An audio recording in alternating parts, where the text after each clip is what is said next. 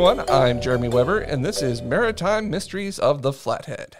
I am once again joined by Flathead Marine Archaeology Project leader Kyren Zimmerman, and we are delighted to have you with us today as we once again dive into the history and mystery of what lies below Flathead Lake and the waters of northwest Montana.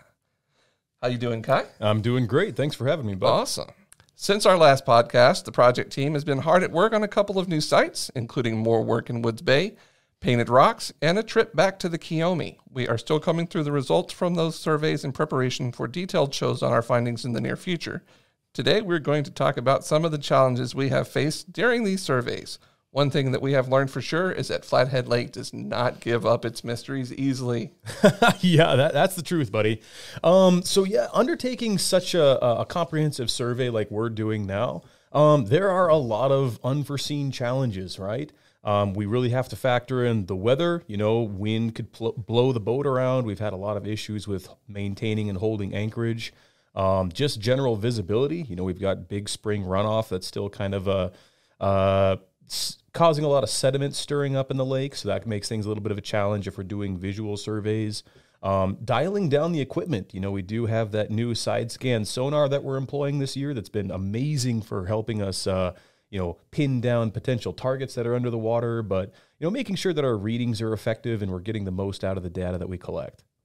So let's talk about Woods Bay. What's been going on out there? So Woods Bay, uh, back in May was our first survey, um, and we were t- targeting, um, uh, trying to track down some boats that were, you know, supposedly had sunk in the area. Um, a lot of uh, locals around Woods Bay were coming up with these amazing stories and potential targets for us to go and investigate. Um, so our first survey was back in May. Water visibility was pretty good. Um, our side scan picked up several potential targets, and uh, you know that's kind of one of the things about using side scan is it takes a bit of an art to be able to interpret the returns or the images that you're getting back off this off that unit. Um, so we've got lots of really suspicious looking targets. Um, however, diving on those, they turned out to be very conveniently. Uh, suspiciously stacks of logs. Oh, of There's a yeah. lot of logs, and if you get a series of them stacked together, uh, the image return on the sonar does look very much like a boat. So you got to use uh, visual observation methods like deploying divers or the ROV to go ahead and verify those targets. So basically, when you're running a side scan sonar unit, this is kind of a, a new, a newer piece of equipment that we're still um, really dialing in all, or, or fine tuning the survey method with that. Um, you have a large torpedo-shaped sensor. You know, it's about you know two and a half, three feet long and uh, it's towed behind the boat. So depending on how fast you're going, uh, the sonar could rise up in the water column or sink if you slow down. Your goal is to maintain a, a constant speed and also a constant distance above the bottom of the lake mm-hmm. so that you can get a really consistent read every single time.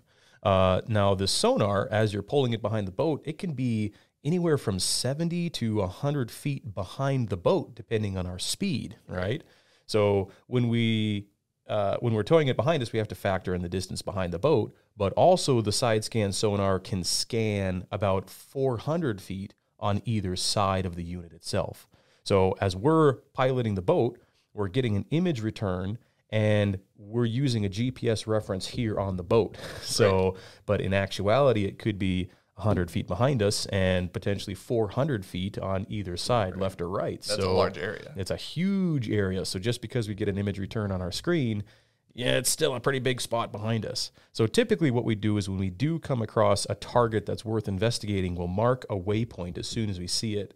Um, we'll finish our transect, come over about 200 feet. If we're scanning 400 feet, we'll do a 200 foot transect so we can get a good level of coverage on either side. And when we come back over that scan again, we'll mark another waypoint. So now we have two waypoints that we can reference. So then after that, we'll do a 90 degree search pattern. So if we were going north to west, we have two waypoints on the north and the south side transect. If we do a north to south, uh, we come over and we do a, a south to north, we do a 90 degree cut. So then we'll go east to west and then west to east. So if we cross over that same area going west to east, we'll have an additional two more waypoints that we can cross reference. Gotcha. And if the sonar is angled properly, uh, we can actually draw a line between those four waypoints and we'll have a perfect X and our target should be right in the middle of the X. So for all you treasure hunters out there, X marks the spot. that actually is a term that was coined with uh, with sonars. Sonar technicians were using that to reference the targets. So yeah, I just learned that a couple weeks ago talking with a sonar tech who's been helping me out. There you go. The things that you can learn on this show. yeah, so for sure. But um, yeah, reading reading side scan sonar really has uh, a lot of skill, and uh, it's it's it's an art form in and of itself. So if you guys aren't familiar with how sonar works, basically it's uh, it sends out an acoustic uh, wave, right? So it, it's very comparable to like if you were in a dark room and you have a flashlight beam, and the flashlight will send out the light. You know, it'll reflect off of a chair or whatever. You'll see the chair, but you're also reading the shadow that it casts behind the object. So you have the reflection, and then you also have the shadow.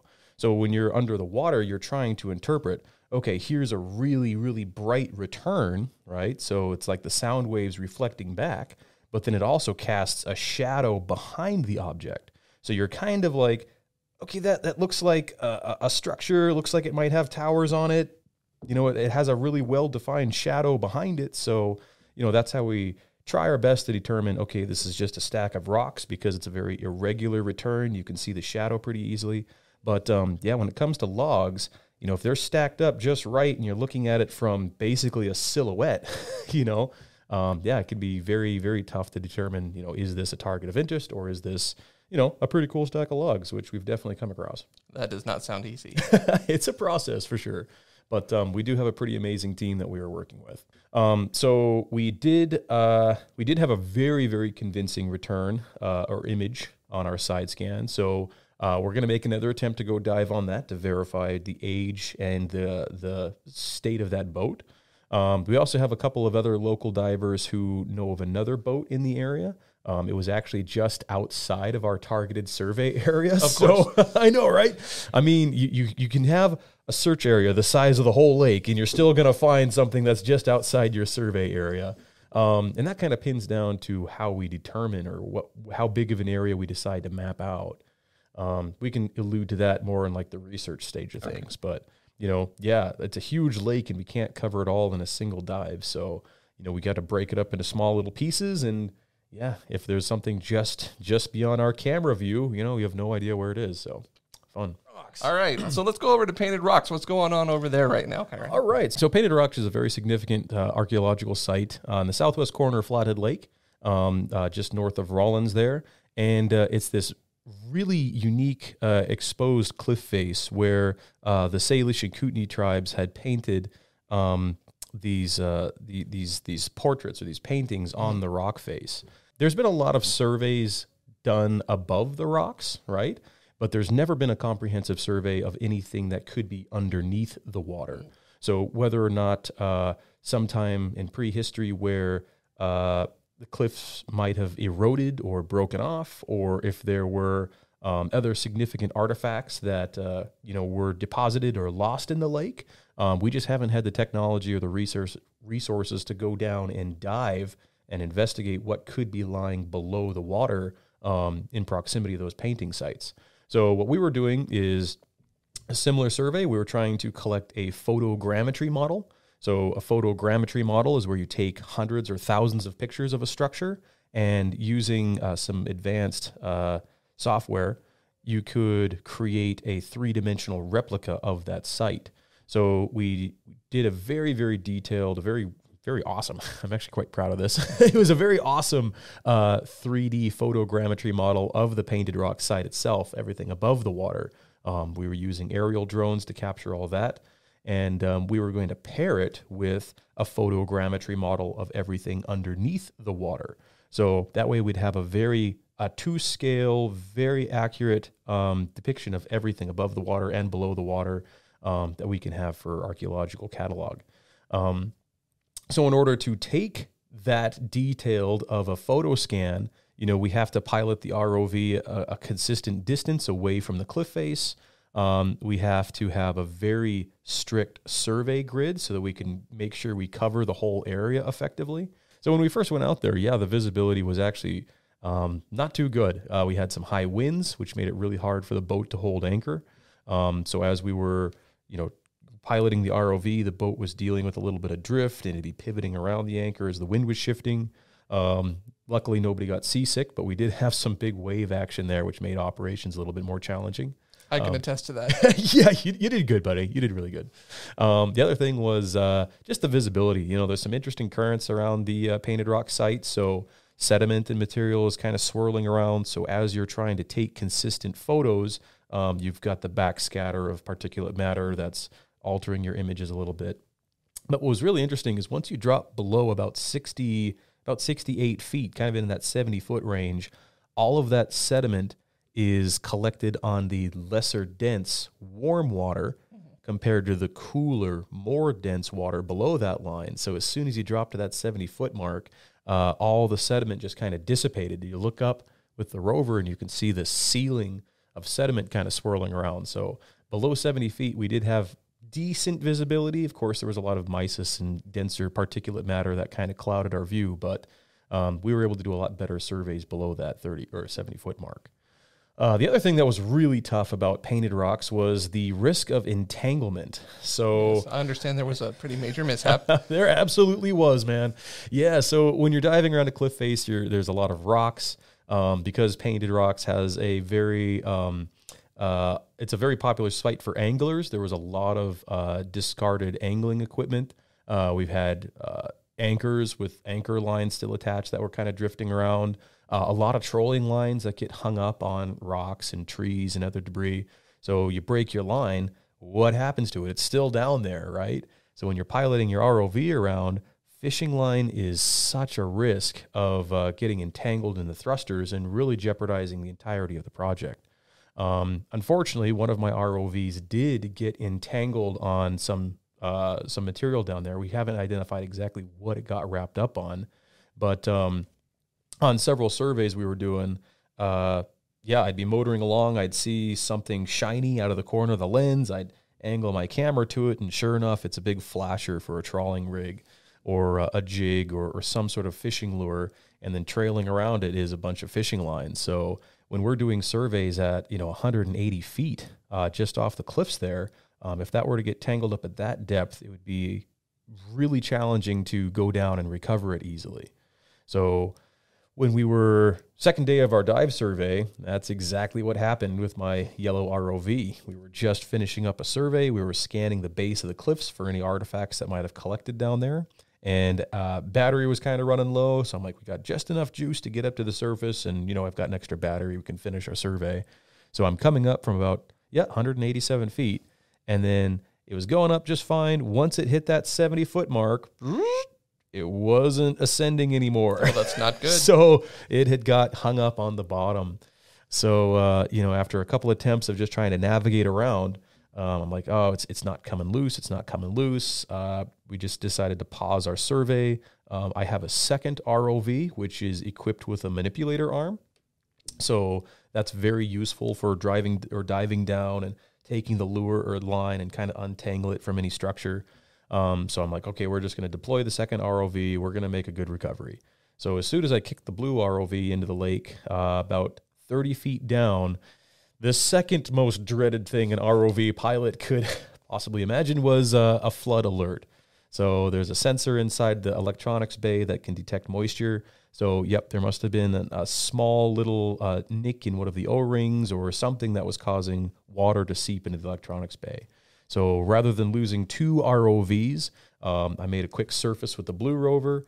And um, yeah, unfortunately, we weren't able to untangle the yellow ROV that day. The wind was picking up, it was getting a little bit choppy out on the water. So, yeah, I made the call to abandon the yellow ROV, uh, rushed home that day, and worked all night trying to make sure that the O rings were sealed, did a repressure test to make sure that the blue ROV was once again water resistant or watertight. And uh, the next day, we dropped the ROV down to see if we can make a recovery. Um, unfortunately, that second day, we weren't able to locate it effectively. We did find the remains of the tether.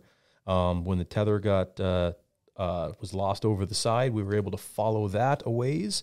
But um, at one point, somehow the tether was broken, so we were able to locate the reel and the controller. So we were able to make a recovery on that, but the yellow ROV itself was nowhere to be found. So burned up three whole batteries trying to track it down that day, again to no avail. So that was another night the yellow ROV was uh, in the lake. So the third day, um, uh, my dad and I we rigged up a uh, a cutting implement for the uh, blue ROV for the manipulator arm, so we can dive down, we can cut the tether if it's tangled up on anything, and then use the manipulator arm to grab onto it and recover it. So um, on the third day, we were navigating around. Finally, we were able to find that trailing piece of tether, follow it to where the ROV was resting on the bottom of the cliffs, again around that 180 foot mark. And uh, there we were able to grab onto it and make a recovery. So, right now, uh, I pulled the ROV out. There was uh, a little bit of water in the housing for the yellow ROV. So, you know, had that stretched out, did all the um, drying out of all the electronics board. There's still a chance that it's salvageable. Um, but the only way to really find out is if we get another controller and another tether in, uh, just to make sure that that's all good to go. So, yeah, no, there's definitely there's definitely a lot to uh, to work out on this project, but it's still it's still exciting. It's still a lot of fun. So the yellow ROV was underwater for two days. Were you able to salvage any of that footage? We were able to get some of the footage off of it, yes. So um, SD cards are pretty robust. You know, they're solid state drives. So we're still processing a lot of that Right. information. Um, you know, the blue ROV, we were able to deploy that. We got some pictures of uh, um, an outboard motor, and we did a really good scan of uh, all the debris and the rocks that are below uh, the painted rock site right off this vertical shelf. So you know there is still there is still some useful information that we pulled from that. Uh, whether or not the ROV itself is salvageable, eh, we'll find out at the end of the week. Well, at least it wasn't a total loss. It's still doing good. It was it was an adventure, right? All right. So uh, last week we were back on the Kee-O-Mee again. Um, what's going on over there? It was not an easy boat to find. There you go. So even sites where you have GPS reference, it's still hard to track those down. Um, so the uh, the Kee-O-Mee was uh, one of the first wrecks that we dove on uh, back in 2016 when I was getting into underwater videography. Um, I was working with another dive team uh, trying to track down some wrecks, and uh, we used the side scan to locate where the Kee-O-Mee is presently. And one of the first things I did was mark a GPS waypoint. Right, so. Uh, I've d- taken the ROV out since then, uh, 2020. Actually, it was 2022 or 2020. Yeah, we deployed the ROV with my underwater GPS system. We were doing a test on that uh, just to make sure that our surface GPS synced up properly with the underwater GPS. And once again, we verified. Okay, here's here's the Kee-O-Mee. We got the coordinates. We know where it's at. Um, so taking uh, Jeremy and Mike Chapin, another diver we were working with, um, out to that site, uh, we took our boat directly over those waypoints. Now we were running a, a pontoon boat, so if anyone's uh, dr- driven a pontoon boat, you know that those things are basically just sails, right? a lot of surface area to catch the wind. So it didn't seem like there was that much wind on that day we were out there, but uh, it was enough to continually kind of blow the boat off of our target. So we did deploy an anchor. Um, it looked like it was holding pretty good, and the objective was to throw over the blue ROV to find where the wreck was or confirm where the wreck was, and then me and Mike would just scuba dive down and we'd follow the tether to where the wreck was. Simple plan, right? That's not how it works. Oh, folks. Not how it worked at all. so um, we dropped the ROV in right on the spot, uh, sent it down to the bottom, and when we were where we were expecting a boat, there wasn't a boat there. Like, okay, well, we we're on the waypoint, so it must be nearby. So then you start to employ a, a search pattern with the ROV. So you know it's in this general area. You kind of start doing concentric spirals, kind of farther and farther out until you find the target. Um, well, after about an hour of doing circles, you know, kind of progressively getting farther and farther and farther out, we still hadn't found any of our targets. So I'm like, what's going on? So I rechecked our GPS waypoint and we drifted about, oh man, maybe at least two, 300 feet out. yeah. So that was the first time. So burned up a whole battery, pulled the ROV back in. Um, uh, then we uh, set up a new battery, re-navigated over the waypoint, uh, dropped the ROV over a second time, and this time we were able to find remainders of the railing that was on the back structure of the Kee-O-Mee. So as the Kee-O-Mee was floating out uh, back in 1937, uh, it was on fire. So it was burning. They were pushing it away from private docks so that it wouldn't catch their private docks on fire. And then the wind started taking it east across Somers Bay, where it started to capsize. And uh, if you know kind of how that site around the Kee-O-Mee is structured, um, on the farther west section, you'll see bits of railing, and then you'll see a large tank. It was either a fuel tank or uh, some other sort of a water tank and then you'll have another large collection of railing and, and uh, like uh, structure, metal structure on the on the top of the boat, and then you'll get the the boat itself. So you actually have kind of like a long line of this debris right. field. So if you find any one of those points, you just track your camp compass kind of like northeasterly, and then you're going to get right to the main structure. So we found this railing. Up, oh, it's right here. so uh, Mike and I geared up. We dove down. We followed the tether. Uh, we got to where that railing was, and then the objective was to just help guide the ROV to where the strike was, so that uh, Jeremy and our captain could take a look at the boat itself. Once again, not how it works. Always challenges, right? So we oriented our compasses. We started going along, going along, going along. Visibility again wasn't super great in Somers Bay last week. Um, but as we were putzing out there, I'm swimming along. I'm like, okay, we're, we're at the edge of the tether, so we know we're about 300 feet from the boat. So or like from the surface boat. So the Kee-O-Mee, did we overshoot it? Was our heading off? You know. So then I start doing a dive pattern once again, trying to pin down where this boat is, and uh, you know we burned up almost another tank of air trying to find this boat a second time. so then we had to surface, and actually as we were cutting along. Uh, we were doing a really wide arc just to make sure we didn't miss anything. And there we saw a perfectly cut trench um, into the sediment. So it was just our anchor that had been dragging again. So when he came up to the surface, we saw that the boat had been drifting about 400 feet to the northwest. So um, yeah, we had to reposition the anchor. Uh, that by that time, the wind must have settled down a little bit because we were able to hold anchor pretty well. Drop the last ROV battery in, you know, and, and send the ROV out, and there we were able to find the wreck um, and then make a successful dive on it. So, yeah, you know, I, I compare it to like, um, you know, you you have a, a table with your keys somewhere on this table, you know, and you're like, okay, I know it's here. I know I left my keys here. They aren't going anywhere, but you know, it's just kind of like those things that are right in front of you. But uh, it's it's just a much bigger scale. so those are the challenges of trying to find a site that you already know where it is. It's got to be much harder to find a site that you don't know where it is. I mean, obviously you have a team working with you to help you with this. What does it take to to find these these sites that people are telling you about? Right. Oh, that's that's it's good. It's awesome bringing up the rest of the team because uh, this project would not be where it is without uh, an amazing team that we do have.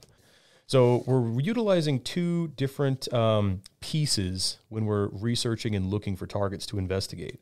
Um, the first one is the original Thain White maps excuse me, uh, Thain White was a historian, and he put together the first uh, map, kind of detailing where some of these historic wrecks may be. Um, he did have the Kee-O-Mee logged, but it wasn't anywhere near where he originally mapped it out. Yep, yep, yep. So we have a lot of generals, like okay, it could be in this area, it could be in Woods Bay, it could be in Somers Bay, or you know, there's also a lot of uh, newspaper archives, you know, written at the time of the boat sinking. So we can compare like that sort of data. You know, somebody had put together some research. Um, the other components are, uh, you know, people who have personal stories or oral histories that they share with us. Um, you know, for example, I think it was um, uh, one uh, somebody we'd been talking to. One of their relatives had met on the Holt Ferry. You know, their their great grandfather and great grandfather or mother had like met on that ferry. So, you know, you have these these stories that really commu- like tie the community to get together, you know, associated with some of these sites, but um, you know, they don't have a lot of uh, you know, they didn't have GPS back in the day. So it's like, okay, so here in Somers Bay, we heard about a boat that sank and we think it's over here. So, you know, we're kind of able to pin down or at least narrow our search area. Right. You know, a, si- a, an area the size of the north end of Flathead Lake is a lot to cover. But if we can narrow that down using um, you know, newspaper articles or at least as much information we can, can we can to kind of bring that down to a smaller, more manageable search area. Um, but yeah, it's it's an amazing it's an amazing team that we are working with. Um, we've got uh, Julie Bottom. She's the director of the BACC, and she's really heading up a lot of the the um, kind of the more administrative sides of this project. Um, she's coordinating with uh, um, donors, you know, other individuals who are contributing and supplying some re- resources and materials to make this project work. Um, we've got two amazing historians that are on the team. We've got Ed Gillenwater and Kyle Stetler. Um, they're just they're the bookworms. You know, they're doing a fantastic job digging through these histories and digging through these books and digging through these uh, historic news news articles um, to really come up with some compelling uh, compelling sites to dive on and uh, also help narrow that search area down quite a bit. And uh, you know that's the other thing about this project is it's a really we're really opening it up to community involvement. Um, you know, a lot of private donors have uh, supplied their personal watercraft or like uh, boat private boat launches or access to the lakes or rivers near these surveys. Um, you know, we're getting stories from the the general public. So you know, anyone out there listening who has a, a personal story or or something that's associated with uh, steamboat history or maritime history in the Flathead Lake or the river system, like we'd absolutely love to hear that because that's all part of making this project move forward and you know telling the story of our of our lakes and rivers. Yeah, absolutely. So, how do those people get a hold of us? So, the best way to reach out is through the BACC, uh, the Bigfork Big Fork Arts and Cultural Center. So you can check us out at baccbigfork.org, and there is uh, uh, uh, contact us. Um, you can also get a hold of Jeremy Weber here. I'm Absolutely. sure you'd be happy to take some of these stories as well. Oh yeah, absolutely. Uh, oh, and dude, yeah, Jeremy, like, thank you so much for the things that you're doing. I mean, having this platform available to you know share our stories and and help the public get more aware of the things that we're doing, like, really, man, this is a pretty amazing resource, and I appreciate what you're doing. Yeah, absolutely. If anyone out there does have uh, something they can offer to help make this to help move this project forward, um, you know, we're still looking for uh, different sizes of, of vessels that we can utilize. Uh, I know that when we're doing the Demersville scan in the Flathead River, we're going to be needing uh, several divers. So having a boat that's large enough to accommodate uh, four or five, possibly even six divers and some support crew. Um, when is that dive coming up? We have the Demersville scan scheduled from uh, July 19th through the 27th. So that's the that's the Demersville scan. You know, we only have a we have funding for just a couple more sites, right? So if uh, we want to do more projects, we have to get more funding in order to do that, right? I mean, uh, with, with these challenges and these equipment failures and updates and maintenance and all that stuff, I mean that that really is taking a pretty big chunk out of our budget. Um, most of the stuff is, uh, you know, processing the data, having the equipment, uh, updating the equipment and decontaminating the equipment. And, uh, you know, after every single dive or every single couple of dives with the blue ROV, I got to pull O rings and do maintenance and repairs. Yeah, I mean, that's expensive equipment. It really is. But, um, you know, this is a community based project. And, um, you know, uh, if the community is interested and we really want to continue this project, um, yeah, we do have some needs. And uh, yeah, we do have some resources for you guys to reach out and uh, contribute if you guys want to help help make this project move forward. All right, ladies and gentlemen. Well, that's going to do it for this episode of Maritime Mysteries of the Flathead. Thanks for hanging out with us today, and join us next time as we go back to the Great Depression era and dive into the mysteries of the Kee-O-Mee and its 86 years at the bottom of Somers Bay. Thank you so much, Kyren. Nice, no problem. Looking forward to it.